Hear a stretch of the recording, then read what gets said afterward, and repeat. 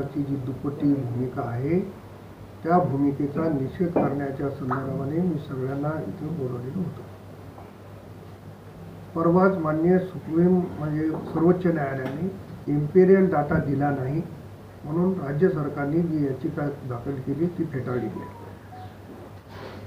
यापूर्वी देखील मान्य सर्वोच्च न्यायालयाने अशा पद्धतीची याचिका फेटाळल्याच्या नंतर महाविकास आघाडी सरकारने इम्पिरियल डाटा न देता पुन्हा याचिका का दाखल केली हा सगळ्यात महत्त्वाचा प्रश्न आहे. एकीकडे महाविकास आघाडी सांगू सरकार सांगते की आम्ही मंत्रिमंडळाचा ठराव करतो. हे ओबीसीचं आरक्षण झाल्याशिवाय निवडणुका नको लोकांमध्ये संभ्रम निर्माण होईल. सर्वोच्च न्यायालय मोठं का महाविकास आघाडी सरकार? मग तुम्हाला जर महाविकास आघाडी सरकारला मंत्रिमंडळाला ठराव करून ओबीसीला आरक्षण द्यायचं होतं तर तुम्ही इम्पेरियल डाटा द्यायला पाहिजे होता. ओबीसीचं आरक्षण मिळायचं यांना या सरकारला ओबीसीचं आरक्षण द्यायचं नाही मराठा आरक्षण द्यायचं नाही. पाच वर्ष महाराष्ट्राला कसं लुटता येईल कसं खाता येईल या पद्धतीनं त्यांचं काम चाललेलं आहे. आणि ही भूमिका अतिशय चुकीची आहे. ओबीसी आरक्षणाच्या संदर्भामध्ये आयोगाची स्थापना केली.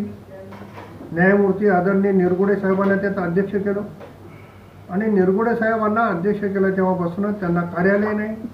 त्यांना सुविधा नाही त्यांना स्टाफ नाही. आणि मग तुम्ही त्यांना अध्यक्ष म्हणून नियुक्त कशासाठी केलं? हा देखील म्हणजे लोकांच्या मनामध्ये संभ्रम निर्माण व्हावा ही जर भूमिका असेल तर ती गोष्ट चुकीची आहे. ओबीसीचं आरक्षण देऊनच निवडणुका घ्याव्यात या मताचा मी काही आमची काय भूमिका. जी पक्ष भूमिका घेईल त्या भूमिकेशी मी आहे.